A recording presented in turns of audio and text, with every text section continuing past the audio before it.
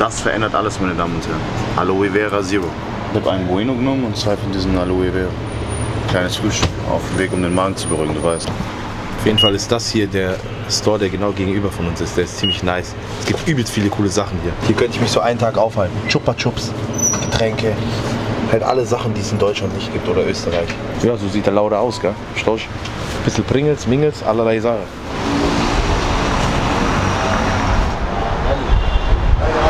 Merkt man richtig, dass Zero ist? Ja, merkt man, aber ist trotzdem sehr lecker, Alter. Voll erfrischend. Aloe Vera. Aloe Vera? Aloe Vera. So ein Bueno sorgt immer für einen glücklichen Start in den Tag. Glücklichen Schlag in den Tag, Bruder. Auf jeden Fall, das ist unser Frühstück. Lukas hat sich ein Bueno geholt. Ich habe ein Be Ready. Warum? We always ready. Guten Tag Deutschland, Österreich, Schweiz, Liechtenstein und Luxemburg und herzlich willkommen im wunderschönen Beirut, Libanon. Wie geht's euch? Wie geht's dir? Ganz gut, verstehst du, wenn ey, kurz in Nacht geht, lang geschafft, bis um vier oder so, du, jetzt sind wir da in Beirut, sage ich, ist äh, wundervoll, schöne Stadt, Wir erkunden zum ersten Mal nach drei bis vier Tagen unsere eigene Gegend, so ein bisschen. Und es ist eine schöne Gegend. Das Wetter spielt mit. Es hat einmal ein bisschen geregnet. Ich bin ehrlich, ich habe das gar nicht so eingeschätzt. Es ist sehr frei hier. Es gibt sehr viele Sachen zu tun. Es gibt super leckeres Essen. Wir werden uns ein schönes Shawarma holen. Das wird auch unser erstes Shawarma hier in Beirut slash Libanon. Viel Spaß im Video, gell? Und auch schaut euch mal diese Gegend an. Schaut euch mal dieses Gebäude an. Das sieht aus wie aus einem Harry Potter Movie. Wie eng die aneinander gebaut sind. Dahinter so ein riesen Wolkenkratzer. Macht wirklich Spaß hier in Beirut. Wir haben schon ein bisschen was erkundet. Das seht ihr natürlich alles auf dem Hauptkanal von Lukas. Aber bis jetzt haben wir noch kein Shawarma probiert. Und deswegen haben wir uns heute auf den Weg gemacht, ein bisschen länger geschlafen und suchen jetzt nach einem leckeren Shawarma. Ja, die Kombination auch so diesen bisschen mittleren Osten-Vibe, so, du merkst ja, du bist im Libanon mit diesem französischen, europäischen Balkon und so und Gebäuden ist schon auf jeden Fall äh, Was Besonderes. Ja. Wir sind auch gerade aus dem Hotel rausspaziert und ehrlich, es gibt Gruppen von Menschen, wir sind wahrscheinlich zu 100% hier aufgewachsen und hier geboren, die sprechen aber nur Französisch. Das hat Geschichte mit geschichtlichem Hintergrund zu tun, weil hier, ich will nichts Falsches sagen, aber französische Kolonien früher waren. hat nichts mit einer Kolonie zu tun. Das muss auf jeden Fall raus aus Okay. Nach dem Ersten Weltkrieg wurde Libanon von äh, Frankreich besetzt. Also Frankreich wurde das Völkerbundmandat für Syrien und Libanon erteilt. Und deswegen sprechen die Leute hier Französisch, verstehen es. An den Schulen wird es auch gelehrt. Geschichtsunterricht habe ich meistens. Was hast du da gemacht? Was auch ziemlich nice ist.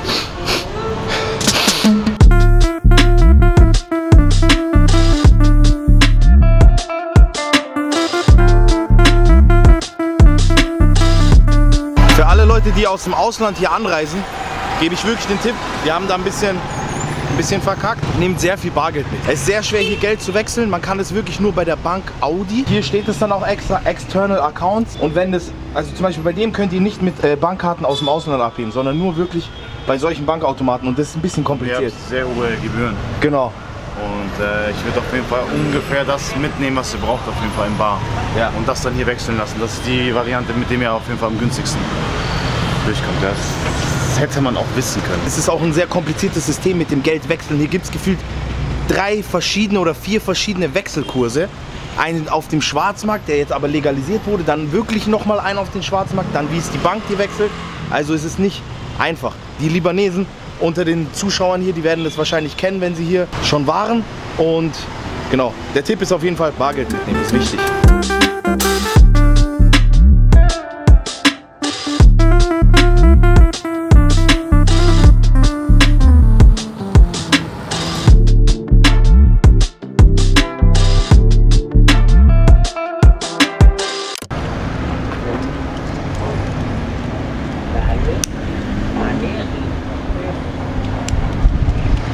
Salama. Must be a bakery or something. Was so? Looks nice. Dieses Brot, ich sage euch ehrlich Leute, fühle ich. Halloumi with äh, Labne. Lebne.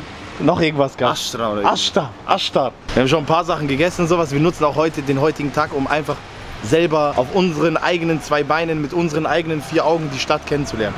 Unmittelbar, unschwerbar vor uns erkennen. Erkennen. Vor uns erkennen. Das war meiner mal. Vor uns zu erkennen. Spiced and Sliced. Wir probieren das, ist so eine äh, bisschen modernere Art von äh, Shawarma und schauen einfach, wie lecker das ist. Davor werden wir uns aber jetzt ein kleines Käffchen gönnen. Käffchen. Aber sieht auf jeden Fall cool aus, modern. Sieht eigentlich aus wie ein Burger-Restaurant, wenn ich ehrlich bin. Ja. Aber das ist auch die moderne Art von modernem Fastfood, das so Ja, zu designen. Modernes arabisches Fastfood, beziehungsweise so. Ja. Starbucks ist auf jeden Fall inside the mall. Getting a little coffee. Auf jeden Fall, Freunde, wir sind in einer wunderschönen Mall. Sieht sehr nach dem arabischen Sprachraum aus immer. Ich glaube halt, also auch in Dubai ist es so, ich nehme an, dass, es, dass deshalb diese, diese, diese Mall-Kultur so groß wurde, weil es in den Ländern auch ex, einfach extrem heiß ist. so, Ja, du ja. kannst halt nicht zwei, drei Stunden shoppen draußen auf der Straße. Das funktioniert nicht in Dubai, wenn es 40 Grad hat. Das macht absolut Sinn. Habe ich noch nie drüber nachgedacht. Hi, sorry. Do you know what a Starbucks is? There's two, one upstairs and one downstairs. Which one you want? Which one is uh, nearby? This one? You can go. We take the sunny one. Yeah. Thank you.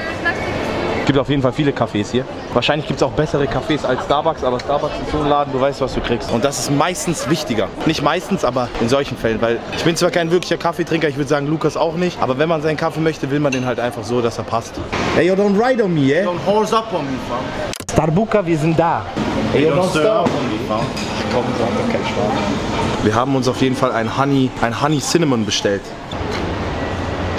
Der ist sogar noch besser als der von gestern. Aber wahrscheinlich, weil wir nicht gestirrt haben. Ich weiß nicht, den von gestern fand ich sehr gut. Geschmäcker können auch verschieden sein, okay? Eine Stunde später. Shawarma, take a break. Mach eine Take a Pause. Shawarma. Take a break, take a Shawarma. Eine Meat Shawarma. Eine Meat Shawarma. Shawarma original. Aha. Mit eingelegtem Gemüse, Tomaten, Tahine.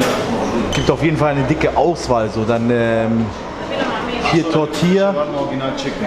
Einmal mit Tumi Dann würde ich sagen, wir nehmen das und das, oder?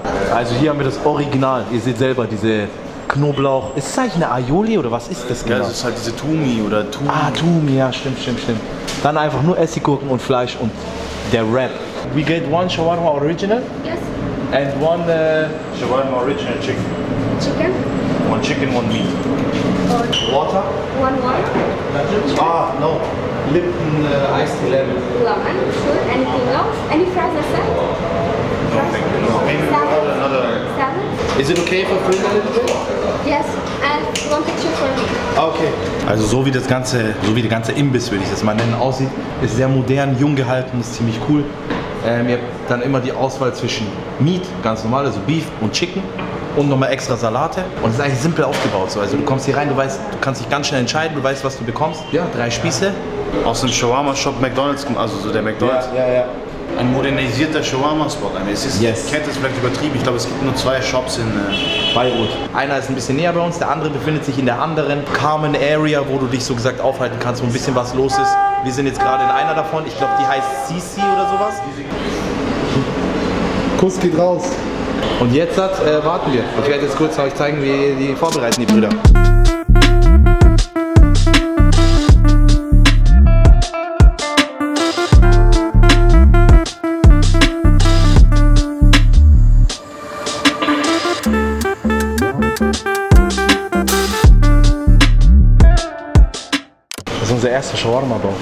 Seit langem.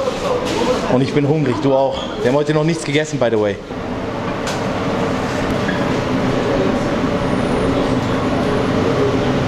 Kuss geht raus, Alter. Das sind auf jeden Fall wieder diese Snackgrößen. So, das sind so kleine Shawarma-Bonbons, weil ich sie jetzt auch nochmal in die Hälfte geschnitten habe.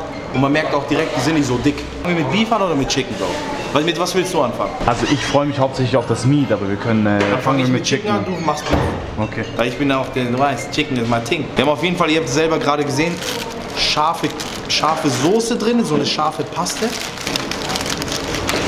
Boah, das Brot, also man sieht, das Brot ist schön knackig. Der Querschnitt ist ganz simpel. Wir haben einfach diese Tumi-Soße, diese scharfe Paste und einfach 80% Chicken und Brot. Bon Appetit.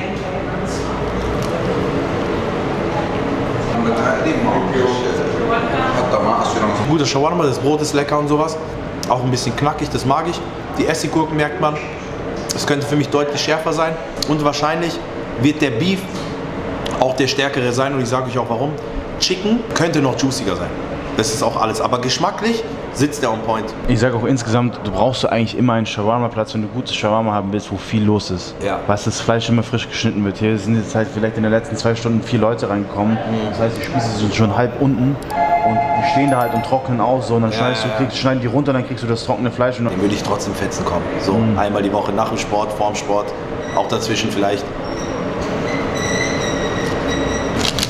Hier sieht man auch diese rote Paste.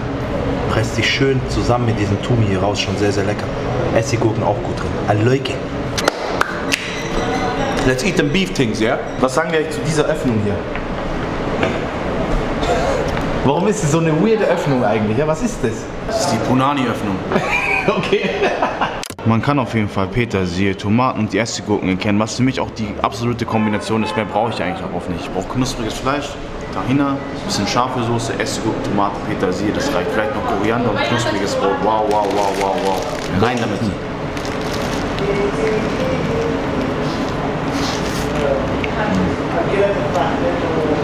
Aber jetzt nicht zu überwältigen, so eine solide Ja. 8 einfach. Also Genau. Immer hinkommen, sich zu holen. Probieren. Fühlt man auf jeden Fall, gell? So, ich habe auch safe schon schlechtere gegessen. Aber die hier wissen auf jeden Fall, wie man Shawarma macht.